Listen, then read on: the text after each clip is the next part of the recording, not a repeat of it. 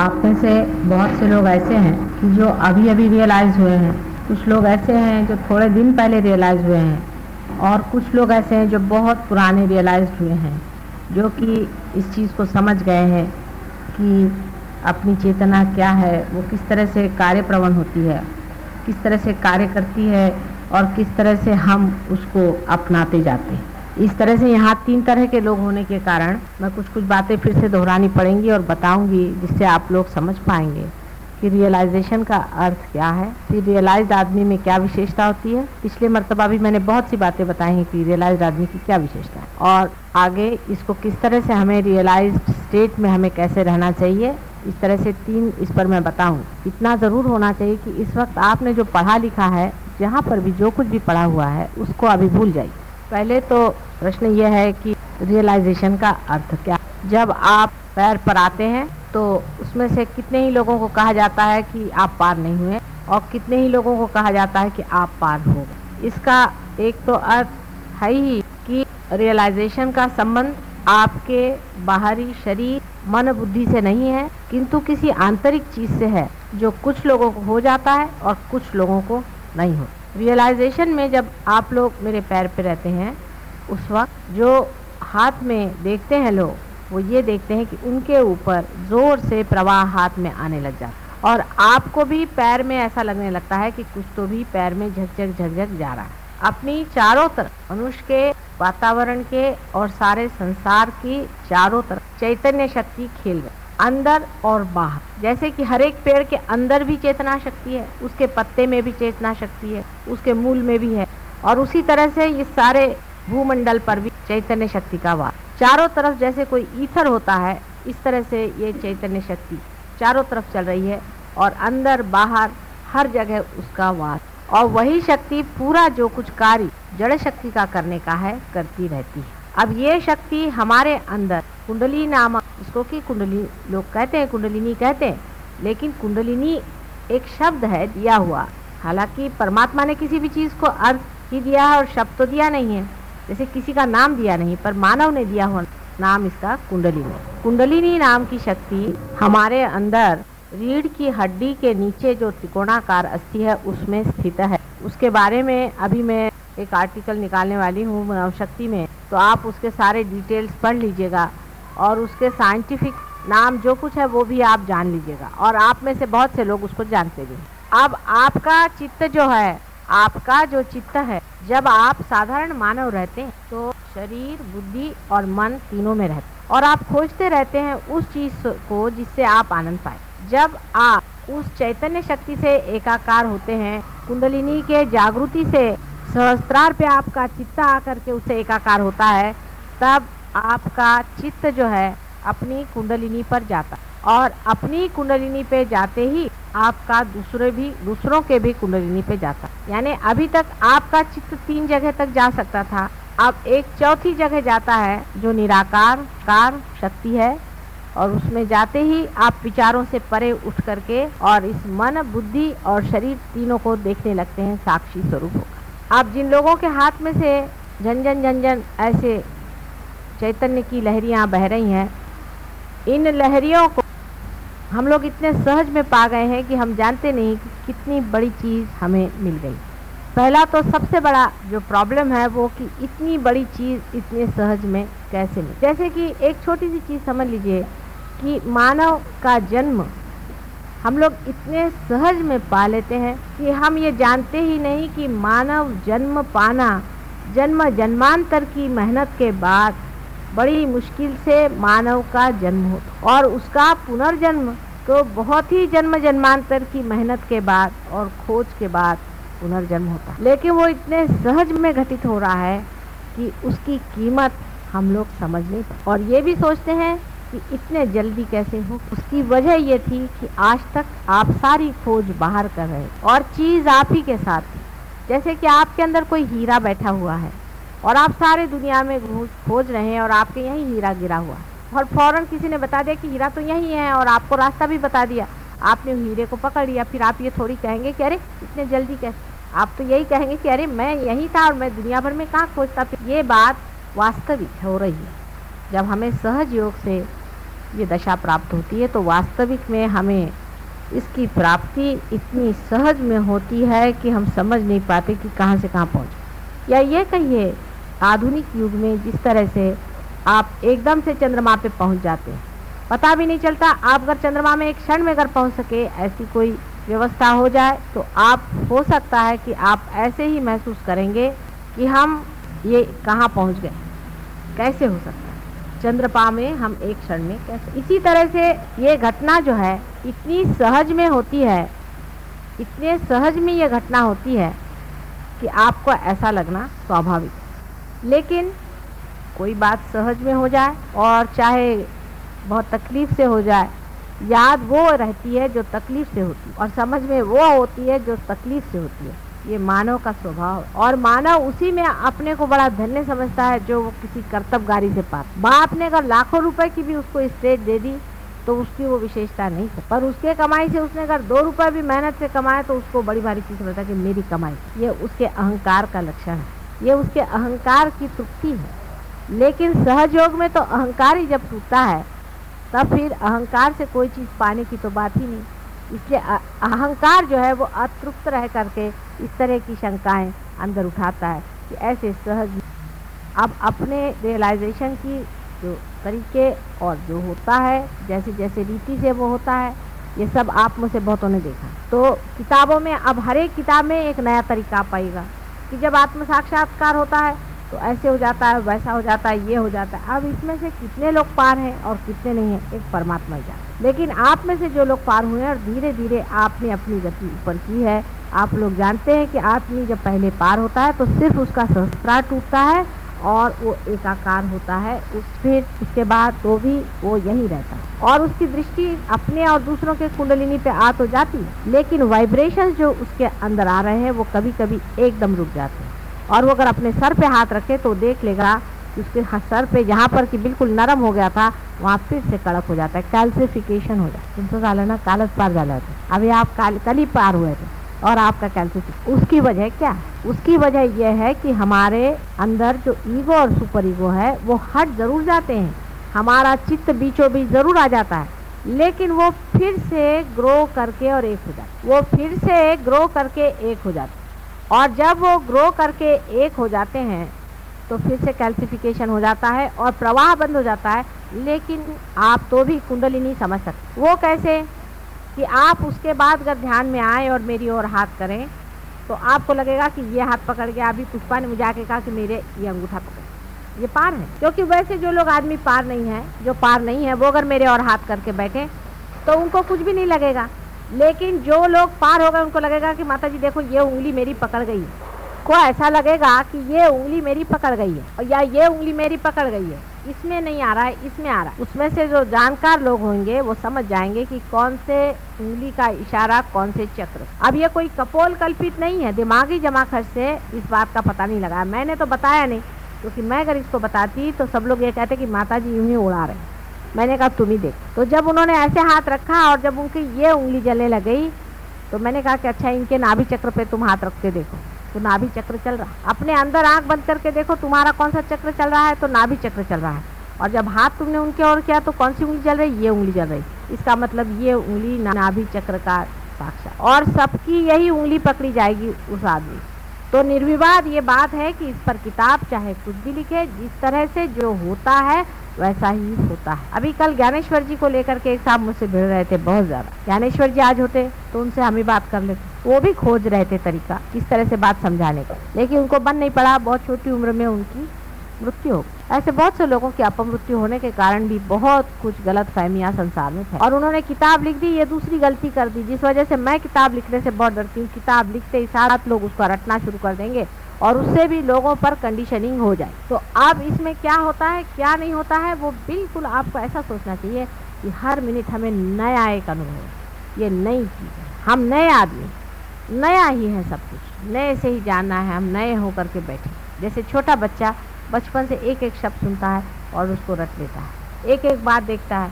उसको समझ लेता है। इसी तरह से तुम, आप लोग जो इस नए लोक में, इस दिव्य लोक में जो आए हुए हैं तो उसकी दिव्यता को समझना से इसकी दृष्टि और होनी चाहिए। बड़ी विशेषता है कि इसका नाम दिव्य लोक रखा गया मैं जाती थी तो इसका नाम पढ़ के मुझे बड़ा लगता था कि किसी बड़े सोचने वाले आदमी ने नाम रखा हुआ, कितना सुंदर नाम। मुझे क्या पता था कि परमात्मा सारी व्यवस्था यहीं कर देंगे और भाटिया साहब इतनी मेहरबानी कर देंगे हमारे ऊपर। तो जिस दिव्य लोक में आप उतरे हुए हैं, उसकी दिव्यता को जानने के लिए आपको सोच लेना चाहिए कि ये सब नवीन है नाविन्यपूर्ण है। इसमें सारा ही नवीन अनुभव है।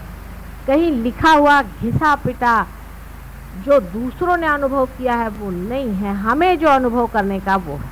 इसलिए एकदम नया, नूतन बालक जैसे होता है, ऐसे आप एकदम नए स्वरूप में से उतरिए पहली चीज़ है कि आप इसमें नवीनतम बातों के और ध्यान दें। सब नवीन है। आज तक ऐसा कहीं भी अनुभव किसी ने किया नहीं। इतने ज़ोरों में ये एक्सपेरिमेंट कभी भी सक्सेसफुल कभी भी संसार में नहीं हुआ, क्योंकि तो मैं भी इस संसार में बहुत बार आ चुकी हूँ। और इस कार्य को करने का मैंने बहुत बार प्रयास पहली मर्तबा इस जन्म में ये कार्य सफलीभूत हुआ। इसलिए सब में थोड़ा थोड़ा अधूरापन जो रह गया है, उसको आपको पूरा करना है। आप उसी अधूरेपन को कंप्लीट करने के लिए आए हुए किसी को आप गिराने या घटाने नहीं आए। लेकिन उसमें जो कुछ थोड़ा बहुत अधूरापन रह गया है, उसको आप पूरा करने के लिए अब आप सोचे कि एक नए ज़माने के, नए विस्तार के, एक नए लोग आप और सारे संसार के लिए आपको मार्गदर्शन कर इतने रियलाइज़ लोग एक छत के नीचे बैठ करके उस परम शक्ति को पा रहे हैं। कितनी बड़ी भारी शक्ति आपके अंदर से विशेष रूप से प्रवाहित है। और लोगों के अंदर से नहीं है संसार। या आप जानते हैं, उसमें कोई आपको अब शंका नहीं रहेगी। जिनको थोड़ी बहुत शंका है, इसका कारण ये कि वो अभी अभी पार हुए, इसलिए थोड़े दिन में उनको भी नहीं रहे तब ये ज़रूरी हो जाता है कि आप अपनी विशेषता को समझ। सबसे बड़ी विशेषता आपकी यह है कि आपको एक फोर्थ डायमेंशन आ गया है आ गया है। कौन सा फोर्थ डायमेंशन आ गया? है जो चैतन्य शक्ति आपके अंदर प्रवाहित है, उसमें आप खड़े हुए हैं। अब आप इसमें से उसमें कैसे जा सकते हैं? ये बड़ा महत्व का पॉइंट है, आप समझ। अब आप देखिए, अगर अपने चित्त की ओर तो आप देखेंगे कि इसमें एक तरह का एक्सपेंशन होता है, और ये ऐसे अंदर खिंचता भी है। अपने चित्त की ओर देखिए। अपने चित्त की ओर देखिए, ये ऐसा लगता है जैसे कहीं, जैसे किसी चीज़ पे जाता है और आप चाहे तो उसको हटा सकते हैं। उसका एक्सपेंशन हो रहा है और उसको आप खींच भी सकते हैं। जैसे कि कोई गुब्बारा होता है या जिसको मराठी में फुगा कहते हैं, उसको आप फुगा दीजिए तो वो ऐसे जाएगा और फिर अंदर। इसी तरह से आप अपने चित्त की ओर दृष्टि रखें। आपका चित्त जो है, वो किसी भी चीज़ की ओर जा भी सकता है और वहाँ से लौट दिया ख्याल करें आप। देखिए, हमारा चित्त किसी वस्तु मात्र पे गया। जैसे समझ लीजिए आपका चित्त है कि एक साड़ी पर।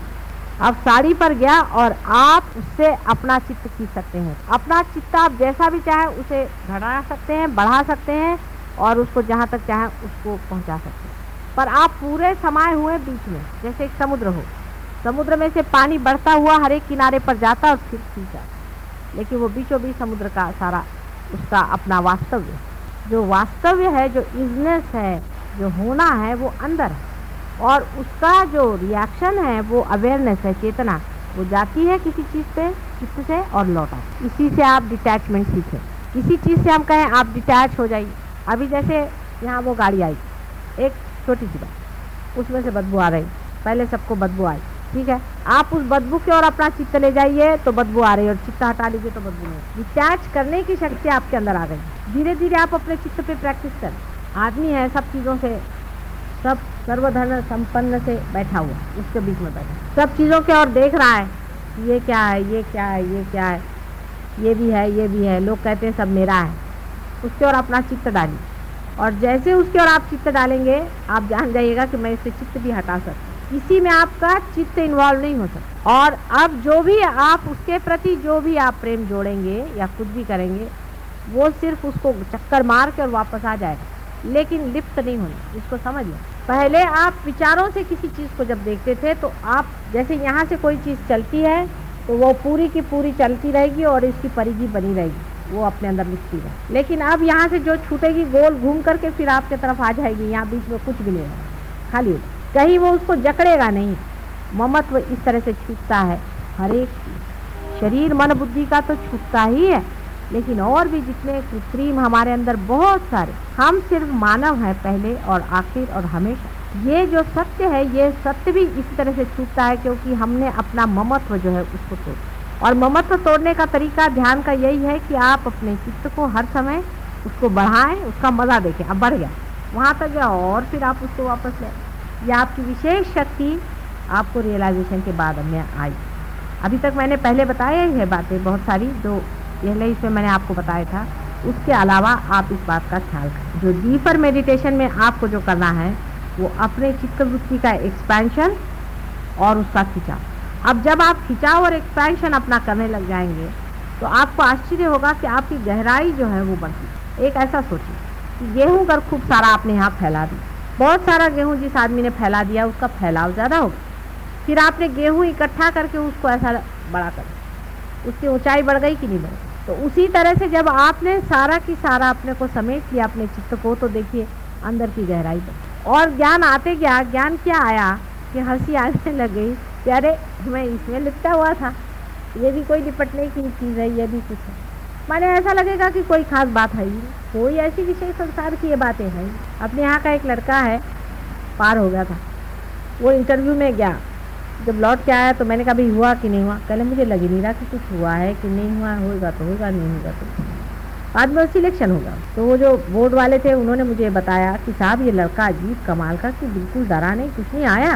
उससे बात कुछ उसने साफ़ साफ़ बात कह दी, जो कुछ थी कह दी, और चला गया, मैं डरा नहीं। तो ये कैसे क्या हो गया? मैंने कहा भाई देखिए, हमने कहा था ना कि वो रियलाइज़ है, आप देखिएगा उसको विशेष रूप से, आप एग्जामिन करेगा कि क्या विशेषता वो कहा कि हमने उसमें यही बात देखी कि वो आया, उससे जो सवाल पूछा सीधे सीधे जवाब दे दिया। ना उसमें छल, ना कपट, न कुछ नहीं। उसने साफ़ साफ़ बात करी कि ये ये बात है ऐसी ऐसी बात। और फिर इस तरह से खड़ा रहा। मानो लेना हो तो ले नहीं तो नहीं। पेशान में खड़े ना तो उसने हमारा कोई किस तरह का कभी अपमान किया और नहीं कोई उसने उसने बढ़ाई।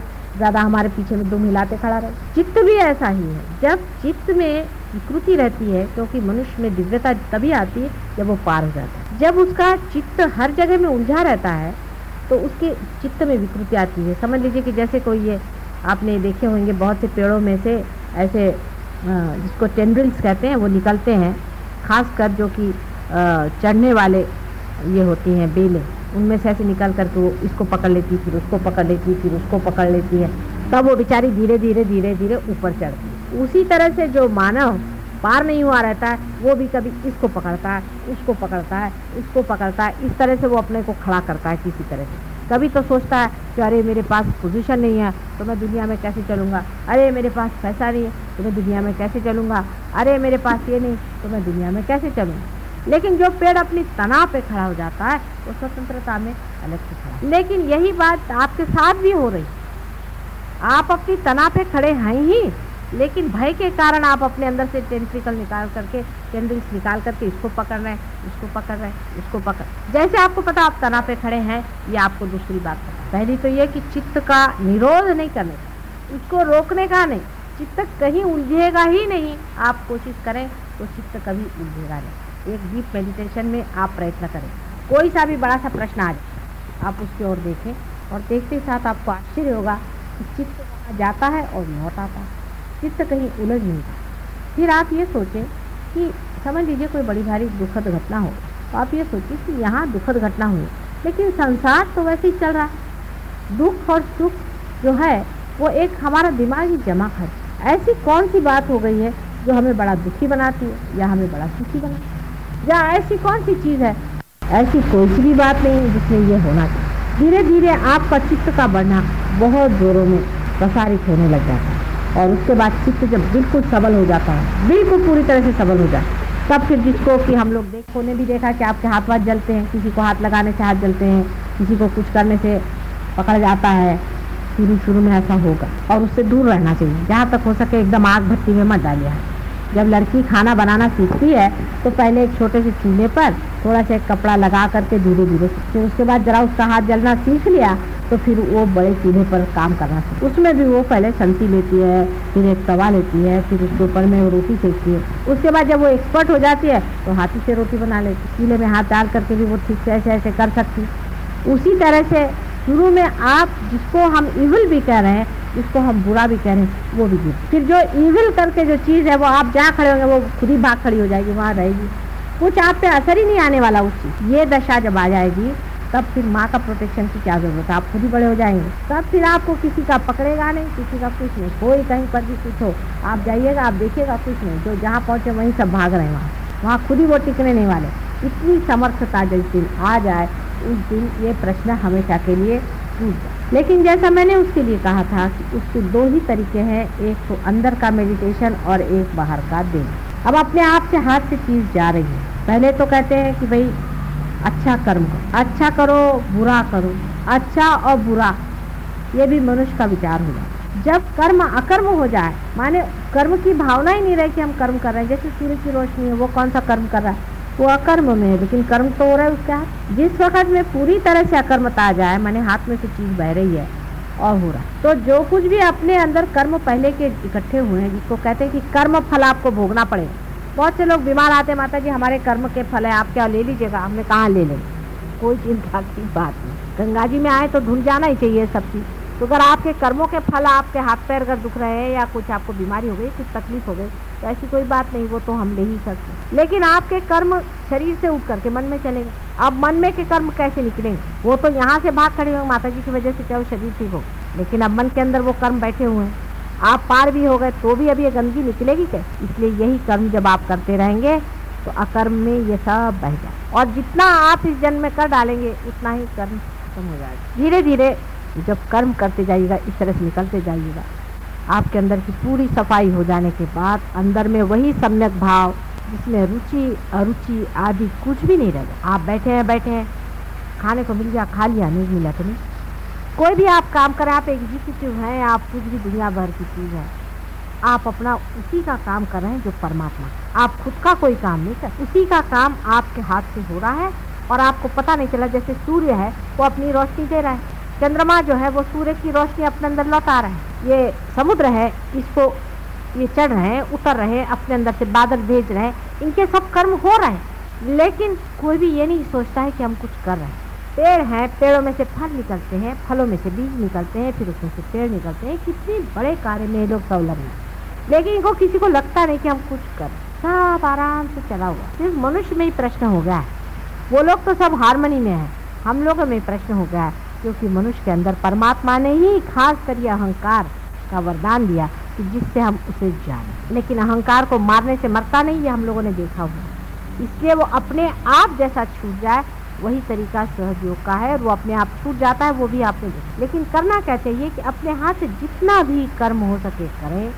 और दूसरा है डीप मेडिटेशन में आप जब तक आपकी वो दशा नहीं आ जाती, जहाँ कुछ बुराई और अच्छाई नहीं रह जाती आपने मुझे देखा, मैं कहीं भी जाती हूँ, मुझे ना तो कोई नेगेटिविटी पकड़ती है, ना मुझे कोई भूत पकड़ता है, ना मेरी उंगली पकड़ती, ना हाथ में। हर समय वैसा ही प्रवाह रहता है। अगर आप लोगों को, अगर मेरे सर से कुछ गर्मी लगे, इसका मतलब है आप ही के अंदर कुछ न कोई दोष आ गया। ये ये इसका सामने आपके सामने उदाहरण मैं भी आप जैसी ही हूँ ना, लेकिन आपके सामने उदाहरण इसी तरह से जब आप भी हो जाएँगे कि जिसमें ना तो कोई शैतान रह जाएगा, ना कोई बुरा रह जाएगा जो आपके सामने आएगा वो आपके प्यार में घुलना ही चाहिए और नहीं घुले तो वो भाग जाए। ऐसी चीज़ दिन आएगी उस दिन फिर आपको इस प्रोटेक्शन की ज़रूरत नहीं रहे। और प्रोटेक्शन के बहुत सारे तरीके आप ही लोगों ने ढूंढ के निकाले। उसमें से कुछ तरीके जो हैं, आप चाहे तो ये लोग बता सकते हैं आपको कोई भी यूज़ करके, जो जो ये लोग इस्तेमाल करते हैं या आप इनसे पूछ सकते हैं। जैसे फ़ोटो पर लेना पैर से निकालना, पानी से निकालना, अपने ही को अपना बंधन डालना, आदि नाम डिफरेंट डिफरेंट नाम लेना, वगैरह वगैरह, बहुत सारे सब कुछ प्रकार हैं। उसके मामले में आप चाहें तो इन लोगों से अगर बात करें तो ये लोग सब बता सकते लेकिन रियलाइज़ आदमी को ध्यान में आते वक्त पहले बैठ करके देखना चाहिए कि माता जी से जो आ रहा है, उसमें कहीं हमारी कोई पकड़ है। हमें वाइब्रेशन आ रहे हैं अगर वाइब्रेशन रुक गए तो उसको निकालना उसको कैसे निकालना चाहिए? क्या करना चाहिए? शरद भी बता सकते हैं, लोग बता सकते हैं।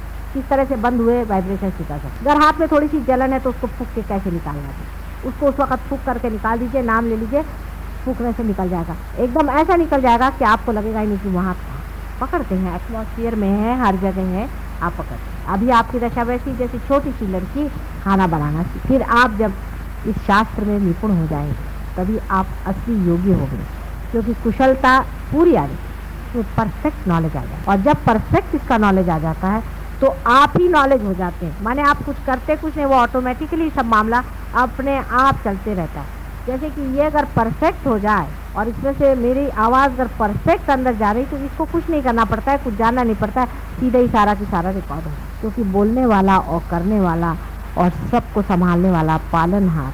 परमात्मा सबके सर पे मंडरा। रियलाइज़ लोगों को एक बात और भी पता होगी। ये भी बहुत ज़रूरी बात है जिसको जान लेने से आपको एक तरह की निर्भरता। हर एक रियलाइज़ आदमी के ऊपर में देवता मंडराते हैं। जैसे किसी भी कहते हैं दुष्ट आदमी के ऊपर में भूत मंडराते हैं, वैसे ही बहुत लालायित हैं सारे देवता लोग उन लोगों की मदद करने के लिए जो रियलाइज़ उनको सुगंध आती है और वो बराबर उनके आसपास मंडराते हैं।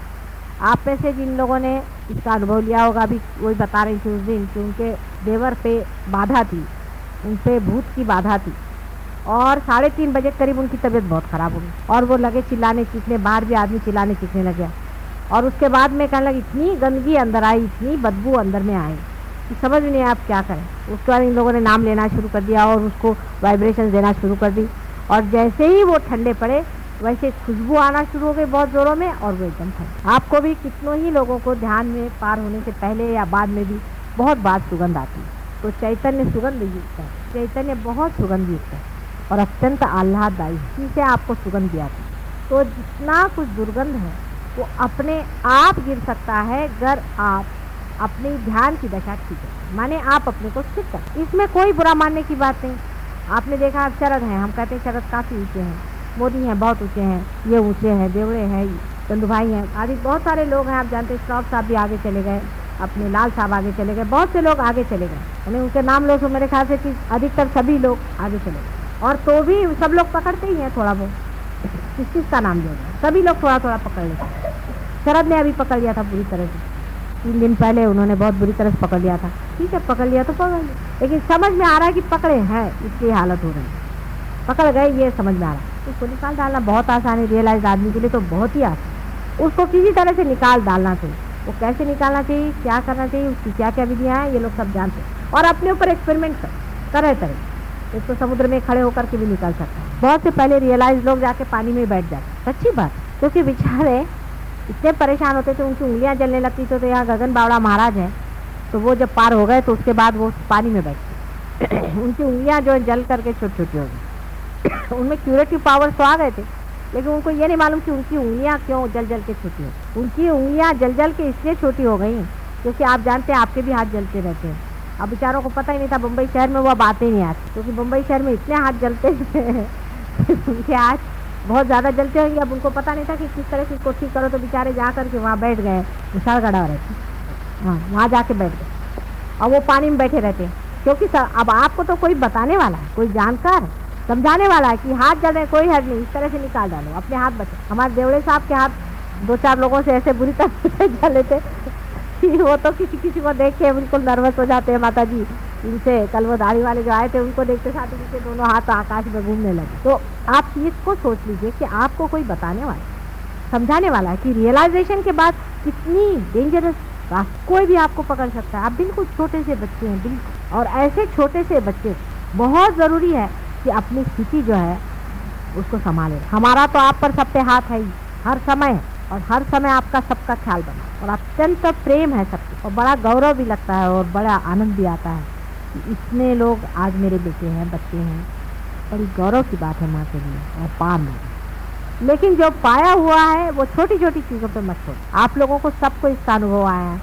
कभी आप जादव से पूछे जादव आपको बता। अभी पाटिल साहब आए वो मुझे बता रहे हैं। इधर लेडीज़ में है, कितने लोग बता सकते हैं? कि कैसे कैसे इनको अनुभव आए, कैसे कैसे ठीक करें? मतलब कोई भी प्रॉब्लम हो, उसको तो मैं सॉल्व कर सकती हूँ। पर थोड़ा थोड़ा आप भी सीखें। आप भी करें, आप भी सीखें, जाने इस चीज़ को। आप ही डॉक्टर और आप ही दवा। आप ही के हाथ से जाने वाला है, आप ही उसको समझने वाले उसमें थोड़ी सी कहीं चोट वोट लग भी गई तो माँ बैठी हुई ठीक करने के लिए कोई चिंता की बात नहीं। ऐसे पहले कहाँ थे लोग?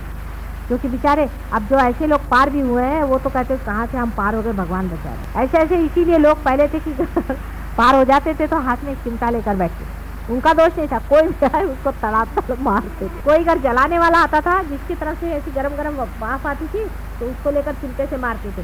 तो उनको चिंते वाला बाबा कहते थे। हमने अपने बचपन में देखे ऐसे मैं देखे हैरान हूँ जो है उसको चिंते से मारे। जिसको देखो, उसको मुझे पूरे प्यार से बुला रहे थे। तो मैंने कभी चिंते उमते से मार? इसके पास कौन जाए? तो उसकी वजह यह है कि इन लोग को बताने वाला और समझाने वाला कोई था ही नहीं। अब आप इतने लोगों की बीमारियाँ ठीक करते हैं, कैंसर जैसी बीमारियाँ आपने इस तरह की सब बीमारियाँ आप ठीक करते हैं, कितने ही तरह की बाधाओं को आपने हटा दिया है, इतना आपने कार्य किया ज़रूरी है कि उसने आपको कुछ न कुछ पकड़ेगा ही। लेकिन उसका इलाज, उसका भी दवा खाना है, आपका भी दवा खाना है और आपको बताने वाला भी बैठा है और सब बारीकी समझाने वाला बैठा है। तो डरने की ऐसी कोई बात? फिर भी अगर आप डरे तो इसका मतलब है कि आप आगे जाने का इस जन्म में नहीं ये तो रियलाइज़ लोगों की बात हुई, लेकिन एक और बात हमको समझना चाहिए बहुत से संत साधु ऐसे हैं जो मर चुके हैं, लेकिन वो जन्म नहीं ले पा रहे हैं। कोशिश कर रहे हैं बहुत लोग, लेकिन जन्म नहीं ले पा रहे क्योंकि उनको वैसा जीव नहीं मिल रहा है, या कुछ और प्रश्न है। तो ऐसे संत साधुओं का भी ऐसा विचार बन रहा है कि हमारे बीच में जो लोग कभी भी रियलाइज़ नहीं हो सकते। ऐसे बहुत से लोग हैं अपने यहाँ जो कभी भी नहीं होंगे, क्योंकि उन्होंने पहले कुछ ऐसे कर्म किए हुए हैं, कुछ ऐसे प्लान चेक किया है, कुछ किया है, इस तरह के इसमें फंसे हुए रहे, या कुछ ऐसी बात है। तो वो कहते हैं कि हम इनके अंदर आ जाएँ। तो आपको उनके अंदर बाधा सी लगेगी, लेकिन वो लोग कोई नुकसान वाले नहीं। इनसे लड़ने की ज़रूरत नहीं। ये हालाँकि बड़े प्योरिटन लोग जो है, उनको अजीब सी बात लगेगी माता जी ऐसी बात कैसी है। उनको छेड़ो नहीं। अगर उनको छेड़ोगे तो ये हो जाएगा कि उनके अंदर भूत भी घुस सकते हैं। क्योंकि अंदर भूत तो घुसे ही हुए हैं। भूत नहीं होंगे तो संत आ जाए। संत आने से अपना कार्य हो। इसलिए बहुत से लोगों पे संत भी उतरे। उनकी बड़ी इच्छा है, उन्होंने ऐसे कहा है मुझसे कि हम चाहते हैं कि हम अपने को लाएँ। लेकिन अब हम छोटे बच्चे के रूप में आए तो तुम्हें कैसी मदद होगी? इसलिए बेहतर है कि ऐसे लोग जो तुम्हारे इसमें आते हैं और जो पार होने की हमें दिखाई नहीं देता। ऐसे बहुत से लोग। वो लोग अगर पार भी नहीं हो रहे हैं तो भी आपको उनसे भिड़ने की ज़रूरत है, पर वो आते रहेंगे हमेशा जहाँ वो चार साल आएँगे, नहीं छः साल आएँगे। वो दस साल भी आए कोई है उनसे भिड़ना आ रहे हैं, बैठने दो। आपको मालूम है पार नहीं है। जो एक बार पार हो गया, वो तो पार होता रहेगा, लेकिन जो हुआ ही नहीं पार और डावा डोल चल रहा है, उससे भिड़ने की ज़रूरत है। ये आज आपको मैं एक सीक्रेट बात उन पर भी संत ही लोग काम करें क्योंकि बगैर उससे काम नहीं बन रहा। भूत बाधा जो है, उसको भगाने के लिए संत ही लोग काम करेंगे, क्योंकि आप लोगों को तो वो दिखाई नहीं देता। आप तो उस परलोक में तो जा नहीं सकते तो उन्हीं को ये कार्य करने की तो वो लोग कहते हैं कि हम आकर के इस पर कार्यान्वित रहेंगे और आपके कार्य को हम बढ़ाएँगे। वो आपको किसी को ठीक नहीं करेंगे कुछ नहीं करेंगे, पर वो इस तरह का कार्य करेंगे कि वो दूसरों के साथ में, जैसे ऐसे लोग हैं, वो ज़्यादा भाषा प्रवण होंगे। वो बोलेंगे ऐसे लोगों को खींच करके लाएँगे। बहुत से और लोगों को लाएँगे जिनको आना। ऐसे हमारे पास में एक साहब थे, उन्होंने हमारे ऊपर आर्टिकल भी लिखा था। पर वो कुछ ज़्यादा ही बिचकाए गए तो वो भाग गए। उनको कभी पार नहीं होने वाले। उन पर एक दूसरे आ गए, उन्होंने कहा कि चलो लिखो इनके ऊपर तो लिखने लगे हमारे ऊपर। फिर उसके बाद में वो ज़रा कुछ बेचारे चक्कर में फंस गए कि वहाँ पर दूसरा ही रंग चल गया तो वो उसी में फंस। तो ऐसे लोगों को बचाना चाहिए। उनको संतों के साथ रखो। कम अज़ कम सदाचार में रहेंगे। और अपने यहाँ आने से उनके ऊपर कभी भूत बाधा नहीं आएगी, उनको शारीरिक पीड़ा नहीं होगी, उनको मानसिक पीड़ा नहीं होगी, उनकी बुद्धि करेंगे क्योंकि संत किसी को सताते हैं इसलिए उनके अंदर संत ही लोग आए। लेकिन जो महंत है, वो भी आपके ऊपर मंडरा रहे हैं, वो आपकी मदद कर वो भी आपकी मदद कर रहे हैं, वो आपको बहुत सारी बातों से बचाएँगे और आपको आपके शारीरिक, मानसिक, बौद्धिक प्रोटेक्शन रहेगा, आपके संसार की जो काम है उसको देखेगा, आपके घर द्वार का जो काम है वो देखेगा, आपके बाल बच्चों को संभालेंगे, ये सब वो लोग करेंगे। लेकिन आप लोग अपने को पूरी तरह से परमात्मा में समझ। बहुत बड़ी आप ज़िम्मेदारी है। आज मैं चाह रही थी कि अगर किसी को कोई प्रश्न हो, कुछ डिस्कशन करना हो तो वो करें। दूसरे शॉप साहब ने मुझे और आप लोग बागीचे में जैसे गार्डनर होते हैं, उस तरह। आपको इस बागीचे को कैसे आपको इस बागीचे में कैसे रखना है? उसको किस तरह से ठीक लगाना है? कैसे चलाना है? वो सब आपको सोचना वो आप सोच करके आप उसका बताएँ कि कैसे।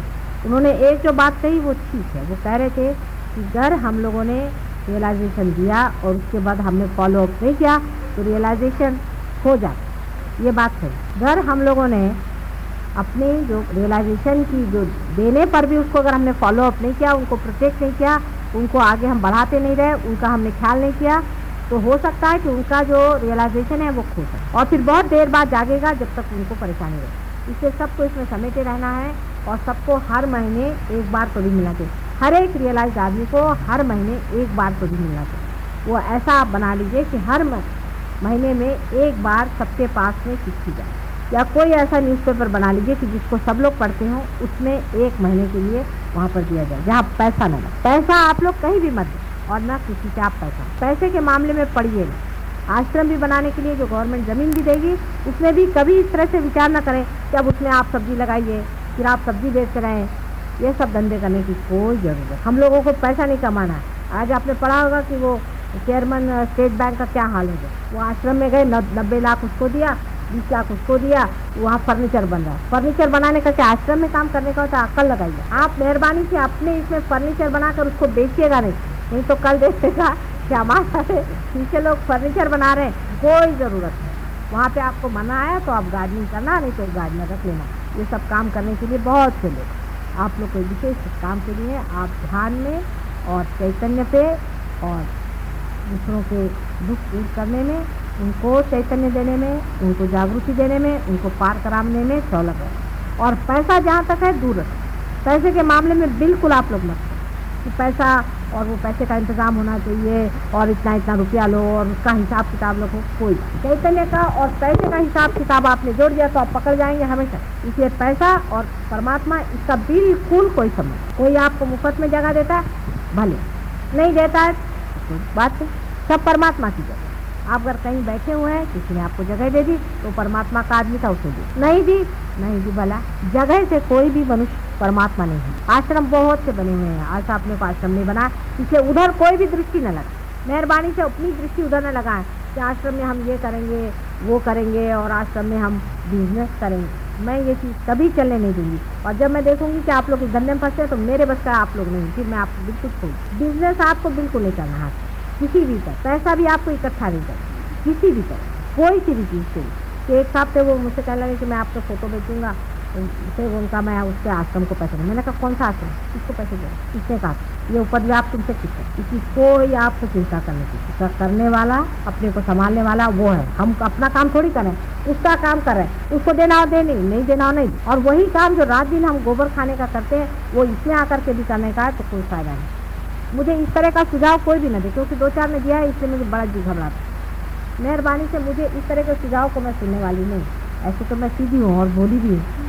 लेकिन ऐसी बड़ी चलाक भी। इस चक्कर में मैं आने वाली नहीं हूँ। आपको पहले ही मैं बता देती कि पैसे के चक्करबाजी में आपने अगर मुझे चला है तो मैं उसमें चलने वाली नहीं। चाहे तो आप लोग पार हो, चाहे नहीं हो, मेरा इससे कोई मतलब पहले समझ लेना चाहिए कि पैसे का और इसका कोई भी संबंध कहीं भी, किसी जगह भी नहीं। दूसरी चीज़, राजकारण से इसका संबंध नहीं। अभी आपको ऐसा भी लोग आएँगे कि चलो तुम इलेक्शन में खड़े हो जाओ, तुम्हारा इतना फॉलोइंग आपको राजकारण में जाना तो आप राजकारण में जाए। लेकिन राजकारण मनुष्य ने बनाया, परमात्मा ने बनाया। जो परमात्मा की चीज़ है उसमें जब खड़ा तो इसका राजकारण से और सत्ता से कोई भी संबंध नहीं। ये पहली बात है। और इसका कोई भी पदवी से संबंध नहीं है। कल आप ये सोचे साहब हम बड़े भारी ट्रस्टी हैं। अभी सब यहाँ तो दो ही चार हैं बेचारे अभी। लेकिन कोई अपने को सोचे कि मैं बड़ा भारी एक इसका सेक्रेटरी हूँ समझिए या मैं इसका चेयरमैन हूँ, मैं कल सोचूँ मैं चेयरमैन हूँ। तो इसमें शेयर वेयर का कोई भी संबंध नहीं और ना इसका कोई आसन है, ना पीठ है। पहली बात समझ। आपस में करने की बात है। ना इसका कोई पीठ है, ना इसका आसन है। तुम्हें कहूँगा सगळे लोग, पीठ बीठ काही काढायचं नाही कळलं का कोई पीठ निकालने का नहीं नहीं तो आदि शंकराचार्य की गादी पर कौन बैठे हैं जो बिल्कुल नॉन रियलाइज़ लोग हैं? नथिंग कोई गादी पर किसी के नहीं बैठने वाला। सब अपनी ही गादी पर बैठ, दूसरे की गादी पर बैठने से हमेशा आपको निकालने का डर रहता है। अपनी अपनी गादी पर सब लोग बैठेंगे और अपनी गादी से अपने पे ही राज करेंगे तो बहुत कुछ तो दो चार चीज़ों को बिल्कुल गांठ बाँध जाए तीसरी चीज़ सच्चरित्र, सदाचार और शुद्धता। इसके बगैर आप कुछ भी इस मार्ग में जाने अगर आपके अंदर कोई ऐसी ऐसी आते हैं, उसको आपको छोड़ने का प्रयत्न करना ही होगा, मेरे पाँव की कसम लेकर असल में बात यह है कि अब आपके अंदर शक्ति है, वो छोड़े। जैसे हिंदुस्तानियों की खास आदतें ये हैं, आपस में बुराई करना। अब आप प्रेम में बंधे हुए हैं। हम लोग सब भाई बहन हैं। आपस में अगर किसी में कुछ हो भी गया, हो सकता है कोई किसी का पैर दिख भी जाए। तो ज़रूरी नहीं कि उसको जाकर सारे संसार में आप बदनाम करते थे। मुझे आकर आप बताएँ, उस चीज़ को हम ठीक कर सकते हैं। लेकिन जान दे करके भी अपने भाइयों को बचाने की आप पूर्ण ज़िम्मेदारी, भाइयों पर और बहन उसके लिए कुछ भी करना पड़े, हमें उसको बचाना पड़ेगा।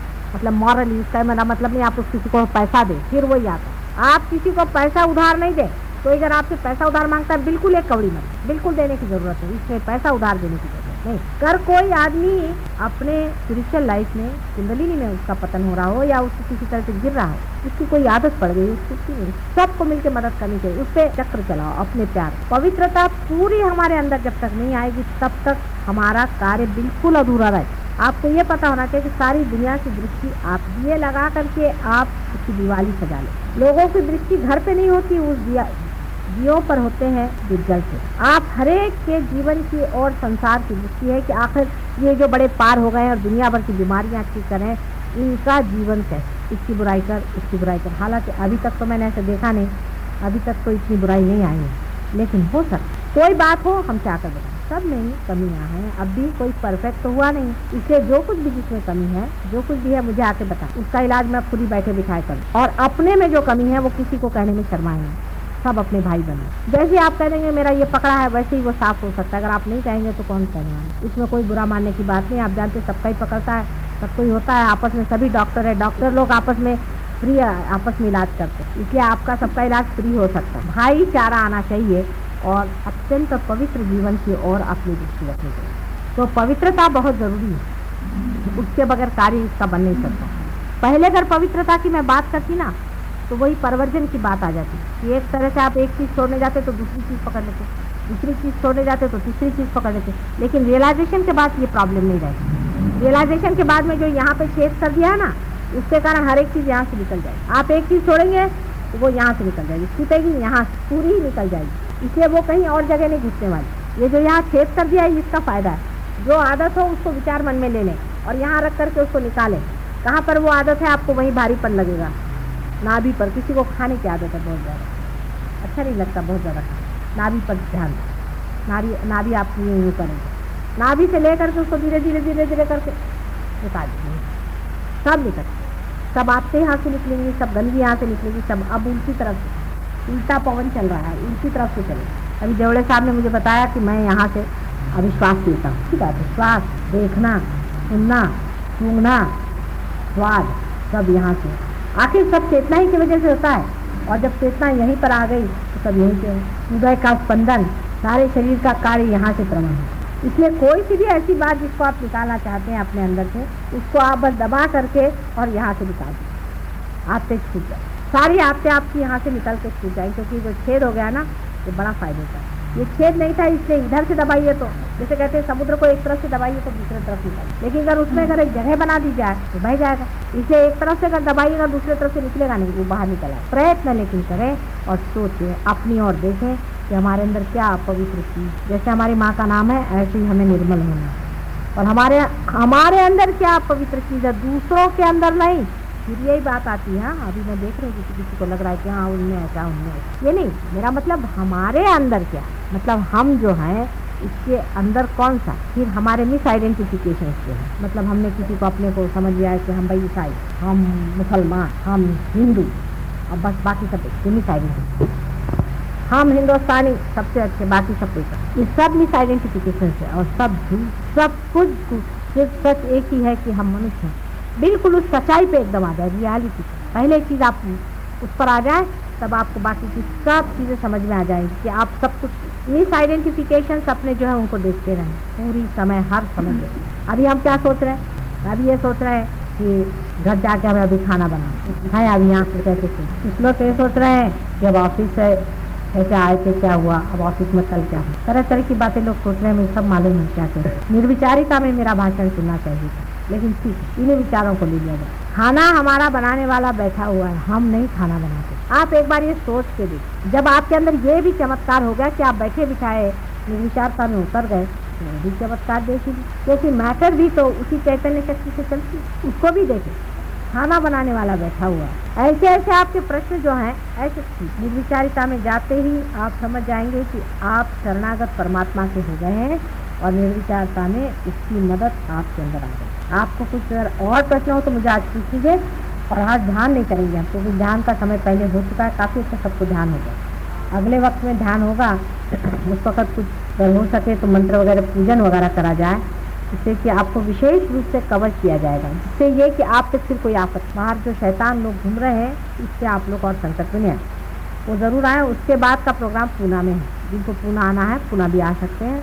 लेकिन पूरे हफ़्ते का प्रोग्राम ये दो हफ्तों में अगर आप अटेंड करें अच्छा रहे। अब जो मैंने बात कही है, उससे विचार करें। अब मेरी बात से आपको कंडीशनिंग नहीं हो सकता। कंडीशनिंग भी यहाँ से निकल जाए। बात का जो सार है उतर जाए। कंडीशनिंग यहाँ से निकल जाए। रियलाइजेशन के बाद सबसे बड़ा फ़ायदा यह है कि कोई चीज़ आपको चिपक नहीं सकती। उसकी जड़त्व जो है, वो नहीं चिपक सकता। उसका चैतन्य स्वरूप मैंने, मैं अगर उर्दू में बोलूँ, चाहे मैं फारसी में बोलूँ, चाहे मैं फ्रेंच में बोलूँ, लेकिन उसकी जो चैतन्य शक्ति बह रही ना, उस शब्दों में से, उसको आपके अंदर आ जाए। उससे सिर्फ़ वो जो वाइब्रेशन है वो आपको पकड़ तो भाषा समझ में नहीं आने की ज़रूरत उसका जो प्रेम है ना अंदर से, वो आपके अंदर जैसे फूल का आपको नाम नहीं पता हो, लेकिन शहद आपके अंदर है। सुगंध आपके अंदर होता है। सुगंध तो चैतन्य है और फूल का नाम जो है वो जड़ है। तो नाम आपके समझ में नहीं भी आए, सुगंध तो हर एक मनुष्य को आता है। हर एक मनुष्य को सुगंध आता है। किसी फूल को रखो तो सब बता सकते चाहे वो अंग्रेज़ हो, फ्रेंच हो, चाहे इंडियन हो, सबको सुगंध आता है। उसको कोई भाषा करने की ज़रूरत है इसी तरह से है। परमात्मा का सुगंध जो ये चैतन्य शक्ति है, ये भी हर एक आदमी को आ सकती है, चाहे किसी भाषा इसे इस भाषण में जो मुझे कहना था तो दूसरी बात, लेकिन जो मुझे देना था वो दूसरी बात। वो अंदर आत्मसात हो जाए और उसके साथ जो कुछ अंदर गड़बड़ियाँ हुई है, वो यहाँ से निकाल अंदर चरवण होगा। और उसके कारण जो कुछ भी चक्र घूम करके फेंकना चाहता है, उसको फेंक नहीं अपने हाथ से उसको निकाल किसी का सर जरा भारी होगा और निकाल सर जब भारी होता है, एक तो दूसरों का पकड़ते हैं, उसे अपना भी बचा खुचा निकल आता है निकाल तो कोई बात नहीं। लेफ़्ट हैंड से निकाल ले राइट हैंड में।